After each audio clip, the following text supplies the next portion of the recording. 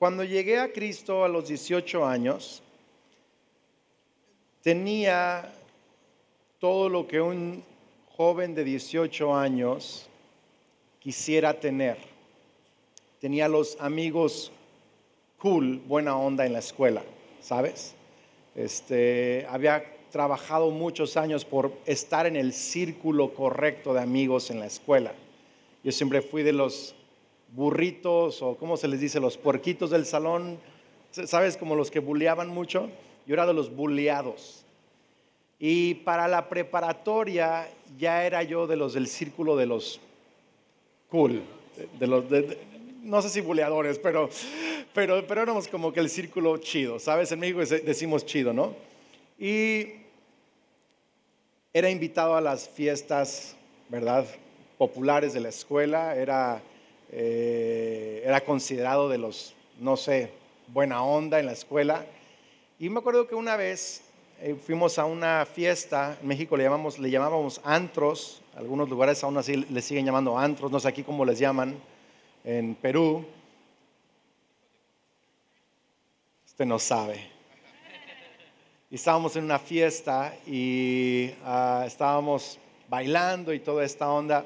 Y estaba yo sentado en medio de mucha música y ruido y amigos tomando y todo. Yo estaba sentado en una escalera del, del antro y me acuerdo que estaba yo como cansado, cansado de sentir que aunque había logrado lo que todo joven a los 18 años quería, aceptación de cierta gente, invitación a fiestas, tenía ya planeado mi universidad, tenía buenas calificaciones, aún así sentía que no estaba contento. Aún así sentía que había algo más. Yo estaba cansado cansado de no poder eh, disfrutar la vida y sentir que estaba, ¿cómo se dice?, logrando o llegando o viviendo la vida que yo debía de vivir. Y sabes, Jesús dice en Mateo 11, 28, perdón, sí, 28, dice, vengan a mí todos los que están, ¿qué? Cansados y cargados, y yo los haré descansar. Lleven mi yugo sobre ustedes y aprendan de mí que soy manso y humilde de corazón, y hallarán descanso para su alma, porque mi yugo es fácil. Queremos reírnos cuando leemos eso. Mi yugo es fácil y ligera mi carga. Y esa noche que estaba yo cansado de tratar de alcanzar lo que yo pensé que era el camino a la felicidad y no sentir la felicidad que yo creí que debía sentir. ¿Tiene sentido eso? Me acuerdo esa noche le dije a Dios en medio del antro, le dije, si hay algo más en esta vida, yo lo quiero experimentar. Y unas semanas después, Jesús me visita en mi habitación. Es una historia más larga que no tengo tiempo de contarles, pero literal estuve en un encuentro con Dios por varias horas, lo que a mí me parecieron pocos minutos, pero cuando vi el reloj habían pasado como tres, cuatro horas de estar en un encuentro con Dios extraordinario y me dio Dios visiones y me sanó de cosas y fue una cosa extraordinaria. Sueños recibí a los 18 años, esa noche, que hoy apenas se empiezan a cumplir. Justo hace unos meses que estábamos, eh, eh, fuimos a orar por un terreno en donde empezamos la construcción de nuestra universidad eh, en Morelia, 90 mil metros cuadrados que Dios nos regaló en Morelia. Y empezamos a construir la universidad. Yo, yo recibí ese sueño a los 18 años. Y apenas hace dos meses Dios me dijo, este es el cumplimiento de ese sueño que te di a los 18 años. Entonces me encontré con Dios y, y cuando me encontré con Dios a los 18 años, experimenté el descanso que Jesús enseña. Porque, sabes, la humanidad en sí está cansada, está cansada. Y el Evangelio es el ofrecimiento del descanso de Dios. ¿Por qué estamos cansados? ¿Por qué está la humanidad cansada? Porque yo creo que nacemos con un compás interno que nos apunta hacia la justicia o la vida que deberíamos de vivir. No sé si tiene sentido esto.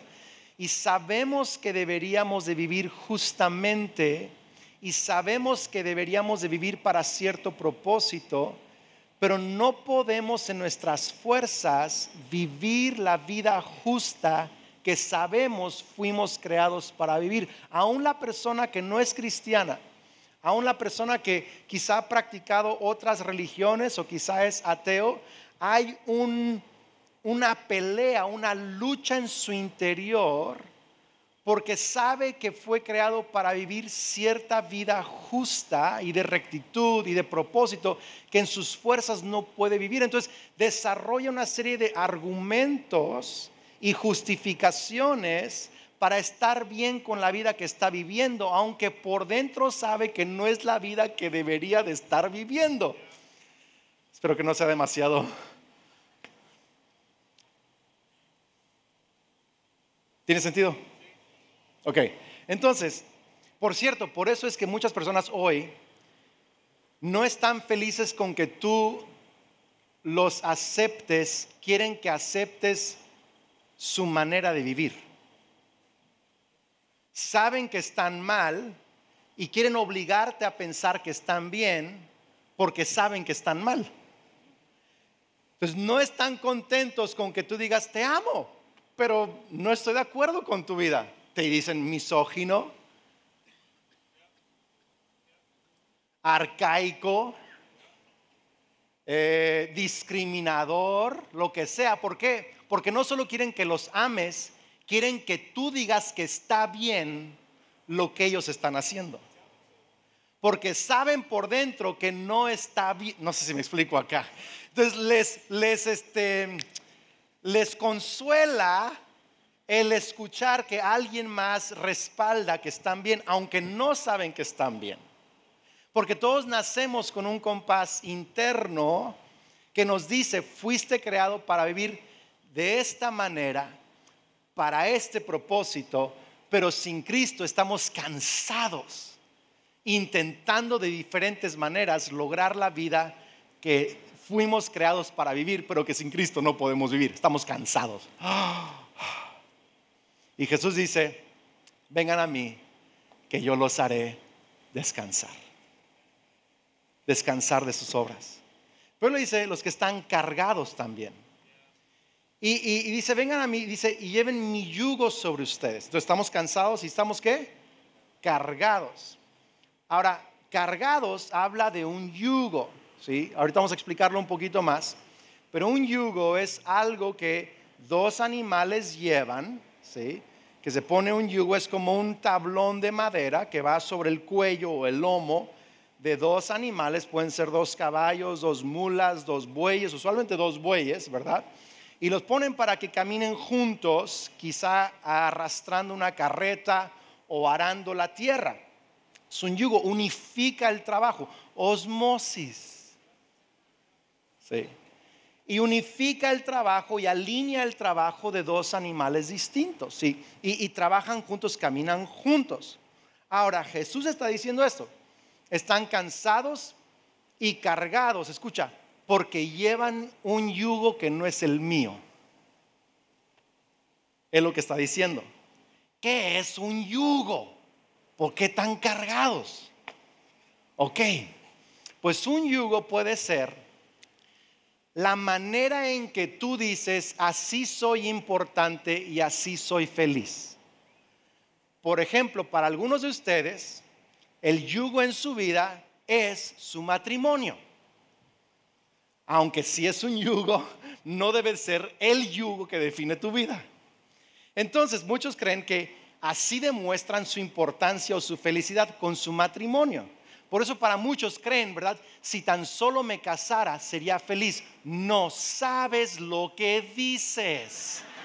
Si no eres feliz antes de casarte, vas a ser más miserable después de casarte. Pero no están listos para esa conversación. Pero algunos dicen, así demuestro mi importancia y felicidad en este mundo a través de mi matrimonio. Entonces ponen un peso emocional sobre la persona, ¿sí? porque, porque creen que esa persona, ese, ese matrimonio, debe de darles importancia, valor y felicidad en este mundo. Por cierto, ninguna persona puede darte la importancia, el valor y la felicidad que necesitas excepto Cristo Jesús. Sí, lo que dijo Kelly hoy en la mañana, Andrés me dijo, no puedo ser la fuente de tu gozo, solo Dios hace al hombre feliz. La vida es nada, todo se acaba, solo Dios hace al hombre feliz. Ok, entonces...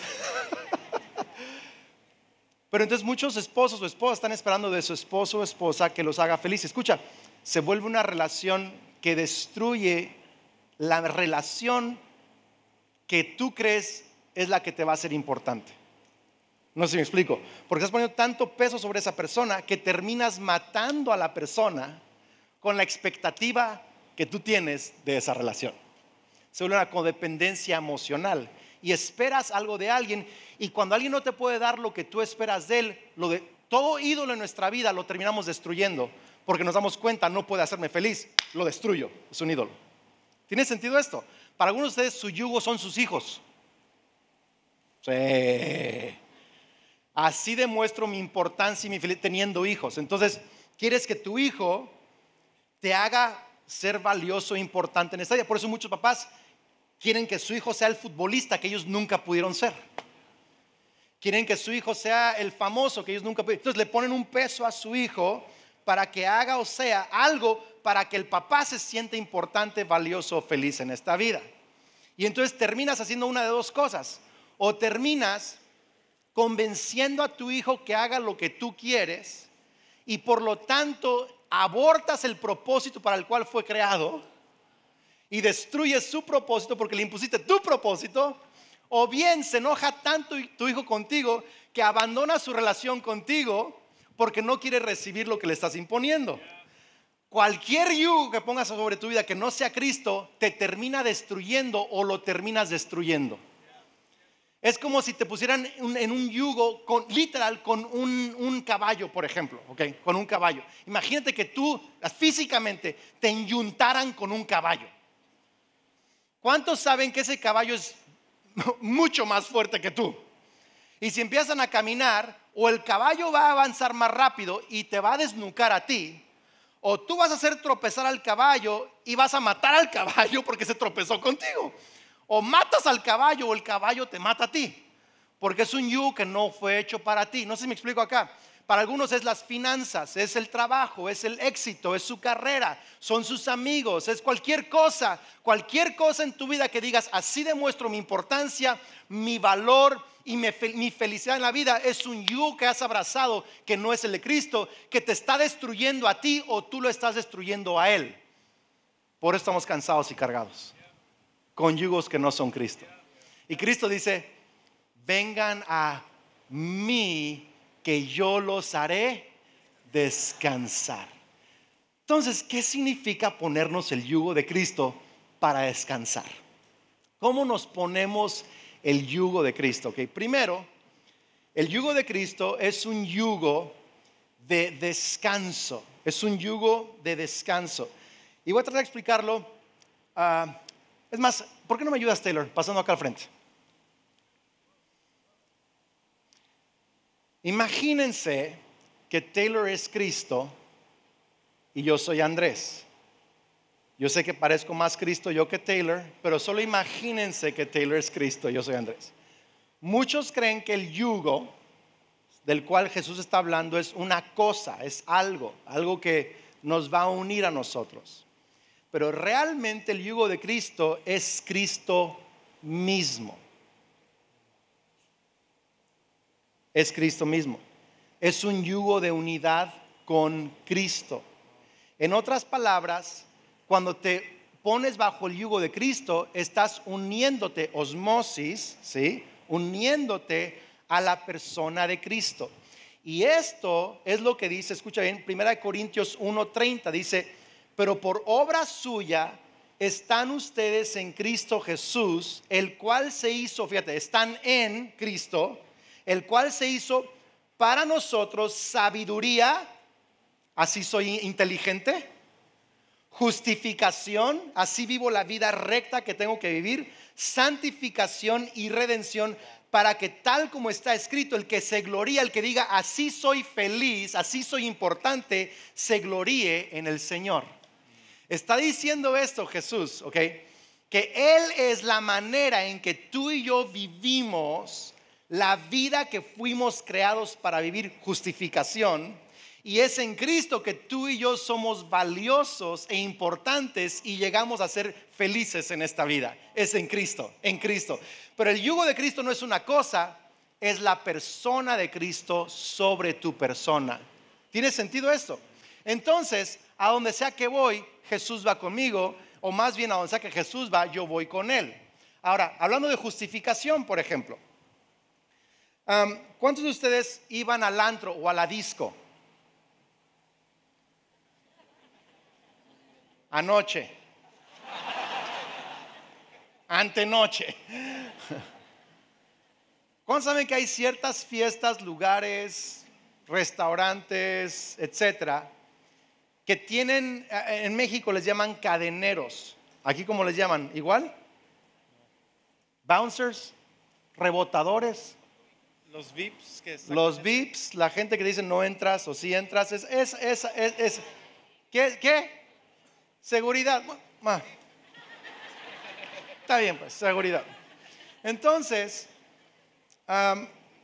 tú llegas allá y si tú no estás en la lista de invitados, uno, o dos, si tú no conoces al dueño o a alguien importante allí, no entras. No entras. Justificación es esto. Tú y yo queremos entrar, debemos entrar, fuimos creados para entrar en el lugar más importante de este universo, que es la presencia de nuestro Padre Celestial. Y tú y yo no podemos entrar si no fuimos invitados y si no conocemos al dueño, que es nuestro Padre Celestial. Pero ¿qué crees? Cuando vas, no vas tú solo, vas con su Hijo Cristo Jesús. Eso es justificación. Tú no puedes vivir la vida perfecta para la que fuiste creado. Jesús vivió la vida perfecta para ti. Él es tu justificación, Él es tu sabiduría, Él es tu santificación. Y ponerte a Cristo significa que has sido redimido, perdonado, justificado y puedes entrar en la presencia de tu Padre Celestial. ¿ok? Es el yugo de Cristo así soy justo. Volte con alguien, dígale, así soy justo. Dígaselo, así soy justo. Y es por eso que Jesús dice, vengan a mí y yo los haré que descansar, porque descansamos de nuestras obras. Digo, ¿qué más tengo que hacer para que Dios me ame? ¿Qué más tengo que hacer para que Dios me abra la puerta a su presencia? ¿Qué más tengo que hacer para recibir el Espíritu Santo? Solamente creer en que Jesús hizo todo y estás unido a Él. Así soy justificado por medio de mi relación con Cristo, Jesús es ponerte el yugo de Cristo. Pero también dice ahí que somos sabios y que nos gloriamos en Él. Así llegó a ser importante, valioso, feliz en esta vida. ¿Qué significa eso? Algunos de ustedes conocen a un tipo feo. Está haciendo un buen trabajo seguirme. ¿eh? Es un tipo feo que se casó con una chica guapa. Todos te conocemos, Yesaya. Él levantó la mano. Usted lo pensó también. Pero, pero, pero cuando un, un, un, cuate feo se casa con una chica guapa, las demás chicas en el lugar dicen, ¿qué tendrá? ¿Tendrá mucha lana? En México hay un dicho que dice, verbo mata carita, lana mata todo.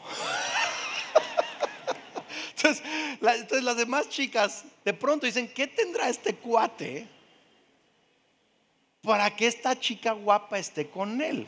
De pronto el tipo feo se volvió atractivo por virtud de la mujer con la que está casado. ¿Me estás siguiendo acá? Escúchame lo que te voy a decir acá. Tú eres el feo. Todos somos los feos. El pecado nos hizo feos. Pero Jesús es hermoso, santo, valioso, importante. Y cuando tú llegas a la fe con Cristo y te unes a Cristo en la fe, el yugo de Cristo, la persona de Cristo, estás en Cristo. El ser cristiano es decir, así soy importante, así soy valioso, así soy feliz. No necesito que mi carrera me haga importante, aunque llegue a tener éxito en mi carrera algún día, gloria a Dios, pero esa carrera no me hace importante, mi relación con Cristo me hace importante. Así llego a ser importante y valioso. Vamos iglesia, así llego a ser alguien en esta vida por mi relación con Cristo Jesús. Eso es, gracias Taylor. Un aplauso fuerte a Taylor. Es muy buen, muy buen Cristo, Taylor, ¿verdad? Pero así es el yugo de Cristo. Eso es un yugo de descanso. ¿Por qué? Porque descansas de tus obras, tanto para ser justo, quedar bien con Dios, como para ser importante alguien en esta vida. Jesús te hace alguien y te hace justo. Descansas. Segundo, el yugo de Cristo es un yugo de mansedumbre. Jesucristo dijo esto, vengan y descansen. Dice, aprendan de mí, aprendan de mí que soy que manso y humilde. Soy manso y humilde. ¿Ha escuchado usted el dicho alguna vez? Manso pero no menso. Por alguna razón en nuestra cultura latina no es bien visto la palabra manso. Es más, Casi siempre pensamos, aunque decimos manso, pero no menso, pensamos que el manso es menso. Así pensamos. Esa es parte de nuestra mentalidad. Pero Jesucristo dijo, aprendan de mí que soy manso y humilde. Soy manso y humilde. Si Jesús es manso, ¿por qué no ser nosotros mansos? Se dice de Moisés que fue el hombre más que manso sobre la tierra. Siempre que trato de explicar mansedumbre me quedo corto. Porque mansedumbre no solo es una virtud que Dios nos da, es quien Dios es. ¿Y cómo puedes explicar a Dios bien? Es complicado explicar a Dios. Pero creo que un pasaje Dios me dio hace unos meses que me ayudó a entender un poco más lo que es mansedumbre. Está en Isaías 66, verso 1. ¿Están listos? Dice, así dice el Señor. Si no aparece en pantallas porque no mandé mis notas, así que búsquelo en su propia Biblia. No sea perezoso. 66.1. Isaías 66.1. Así dice el Señor. El cielo es mi trono y la tierra el estrado de mis pies. ¿Dónde está pues la casa que podrían edificarme? ¿Dónde está el lugar de mi reposo? Todo esto lo hizo mi mano y así todas estas cosas llegaron a ser, declara el Señor. Pero a este miraré, fíjate bien, a este miraré, al que es humilde y contrito, alguien diga conmigo contrito, contrito diga conmigo contrito, contrito de espíritu y que tiembla ante mi palabra. Yo estaba leyendo eso una mañana y me salí a caminar con mis perros, Pancho y Tiny, que es mi caminata de oración diaria, y estaba orando Dios, hazme contrito, porque soy chido orarlo, ¿no? Hazme contrito, porque dice tu Biblia que tu casa no es una que construyes físicamente o que no te construyes, es aquel que es humilde y contrito, hazme contrito. Y el Espíritu Santo me pregunta, ¿y sabes qué es contrito? Le digo, no, pero soy bien espiritual así que hazme contrito. Y empecé, me, paré de caminar, sentí que el Espíritu Santo me dijo, investiga qué significa contrito. Hice una pequeña investigación de la palabra contrito. Y esa palabra contrito en hebreo, hay diferentes variaciones de contrito. Pero esta variación de contrito en Isaías aparece solo una vez más en el Antiguo Testamento. Bueno, dos veces, pero hablan de la misma persona. ¿Sabes de quién habla la palabra contrito en Isaías? En otra referencia en el Antiguo Testamento, de Mefiboset, que era contrito de piernas. Y el Espíritu Santo me habla dice, Andrés, mansedumbre, contrito, significa que las piernas de tu voluntad están quebradas. Las piernas de tu voluntad están quebradas. Taylor, te voy a ocupar otra vez.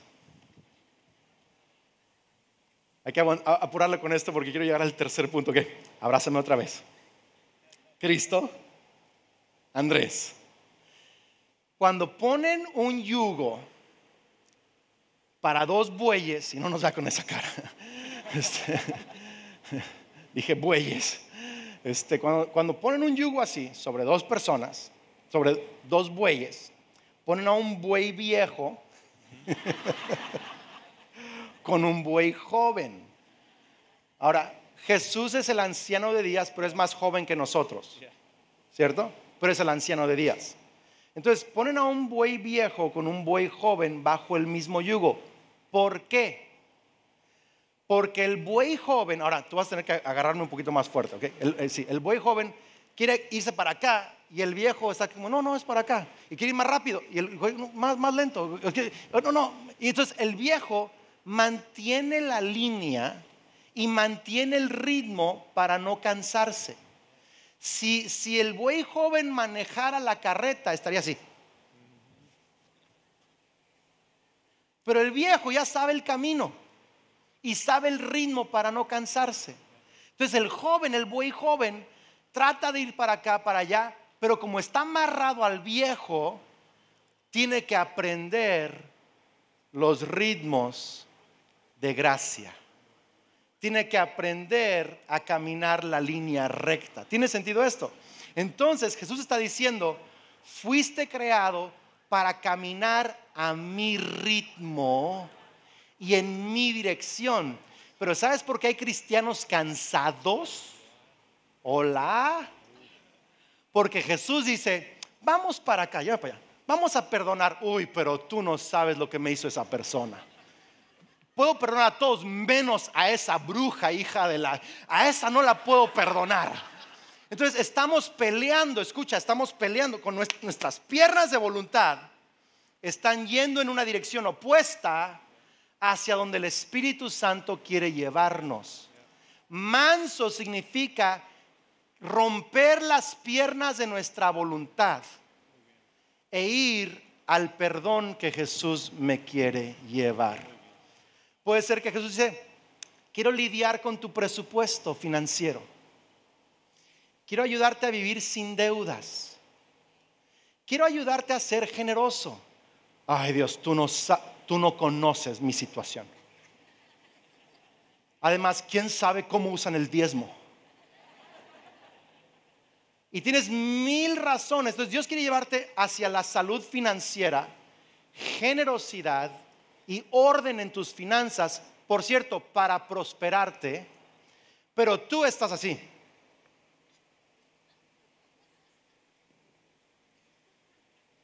Dale a esa persona, no, quién sabe para qué lo va a usar. pero Dios te quiere llevar. Escucha, estás cansado porque aunque te has puesto el yugo de Cristo, sigues peleando contra el liderazgo de Cristo en tu vida.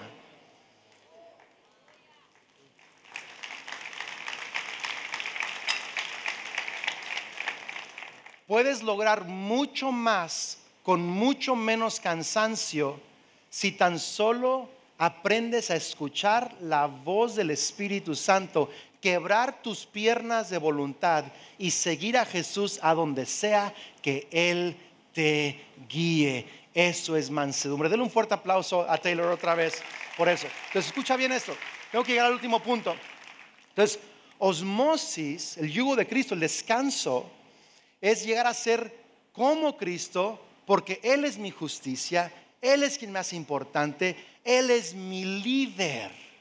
Y al seguirlo a Él, aprendo los ritmos y llego al propósito que Dios tiene para mí. ¿Tiene sentido esto, iglesia, o no? Es mansedumbre. Mi pregunta es, ¿qué tan fuertes están las piernas de tu voluntad?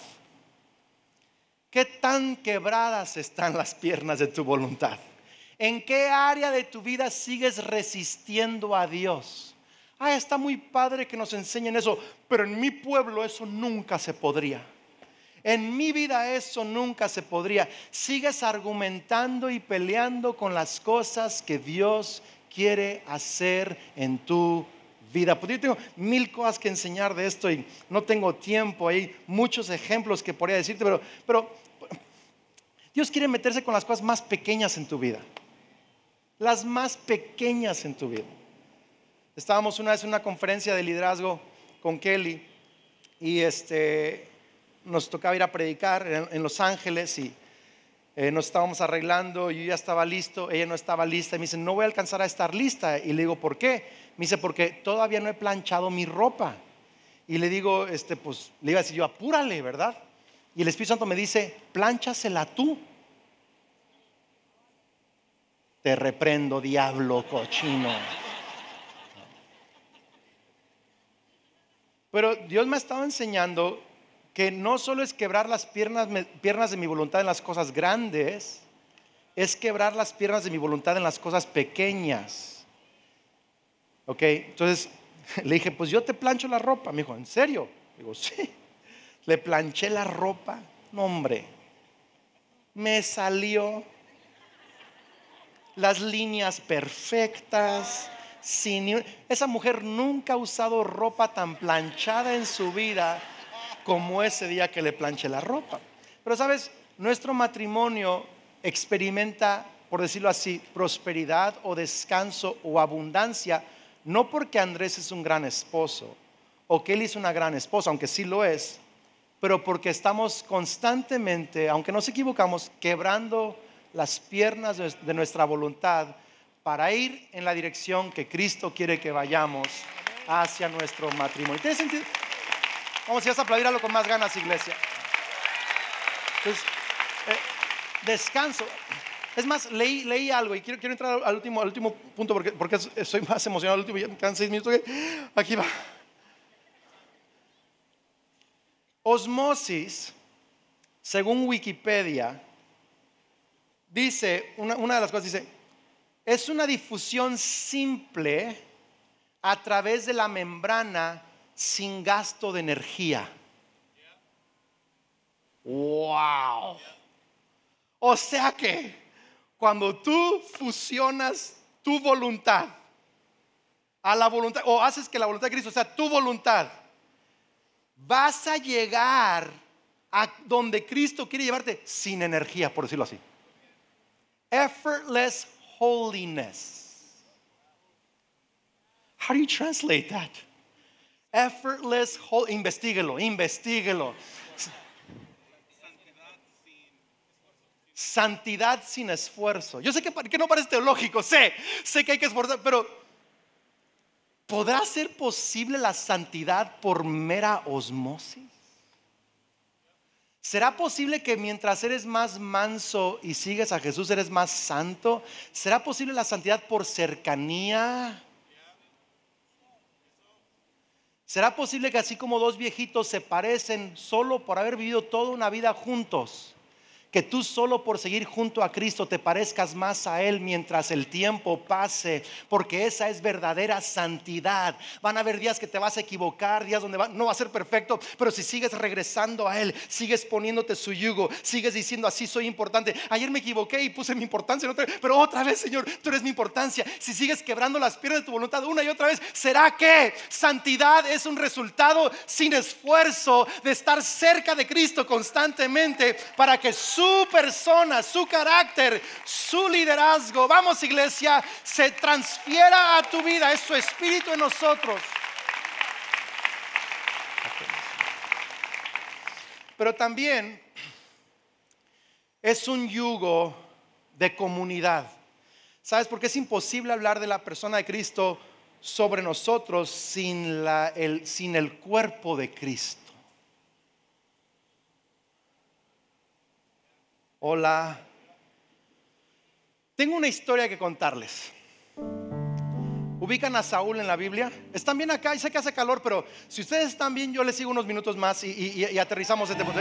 Quiero, quiero aterrizar, este avión. Pero Saúl, primer rey de Israel, ah,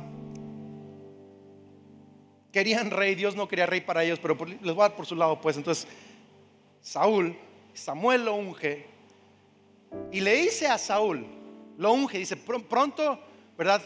Este, va, a ser algo público, pero lo ungió primero ante algunos cuantos.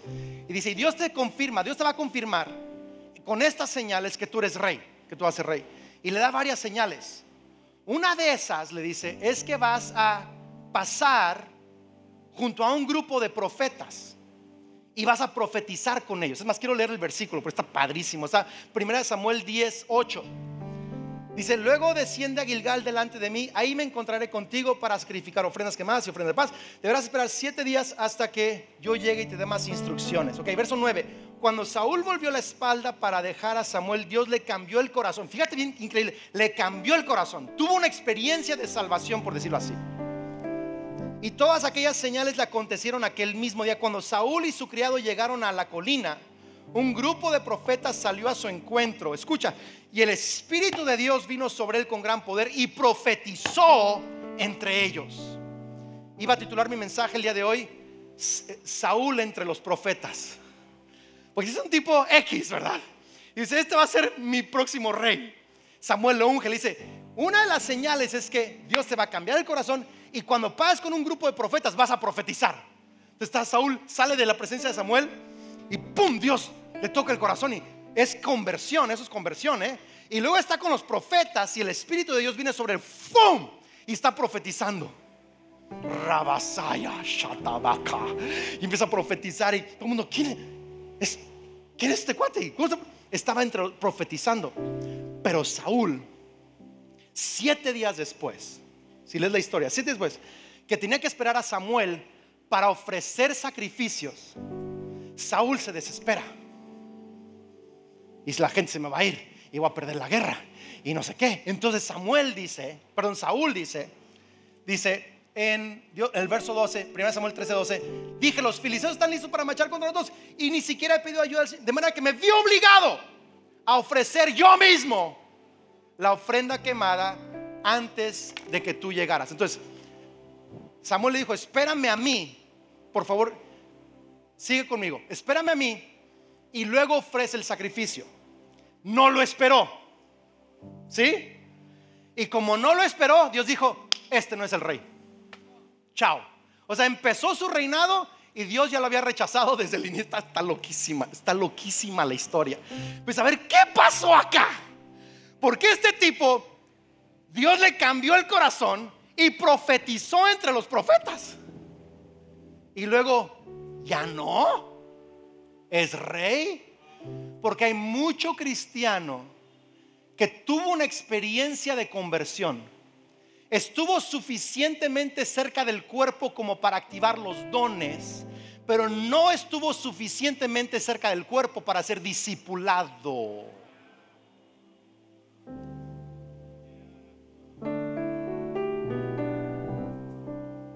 Estuvo entre profetas y profetizó, pero no se puso bajo el yugo de Cristo con el profeta Samuel. Ojo acá, no me, no me está siguiendo, no escuchó usted eso. ¿Lo escucharon acá? Entonces muchos de ustedes, Dios les ha dado dones y los practican, pero no, has, no te has puesto bajo el yugo de la casa en donde Dios te ha plantado. Entonces profetizas, pero no eres discipulado. Tienes dones, pero no tienes fruto, porque el fruto solo se consigue cuando estás bajo el yugo de comunidad. Saúl dijo, no viene Samuel, lo voy a hacer yo. Yo soy el importante. Yo soy. Pero sin Samuel no era nada. Y Dios lo desechó.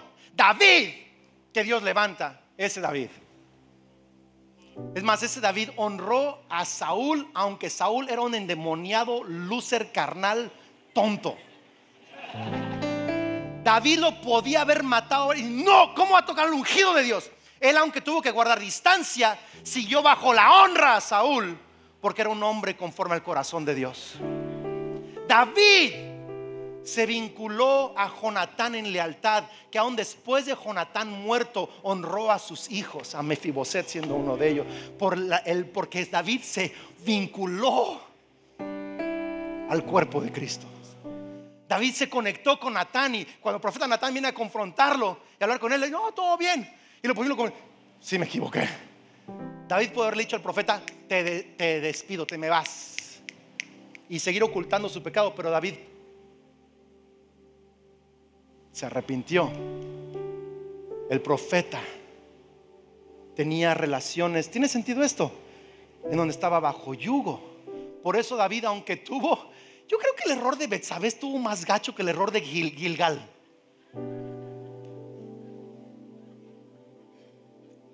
Hola. ¿Cuál es la diferencia? David estaba bajo el yugo de Cristo. Jesús no solo quiere que te conviertas y que actives tus dones, quiere que te pongas bajo el yugo de comunidad para que desarrolles los frutos del carácter de Cristo.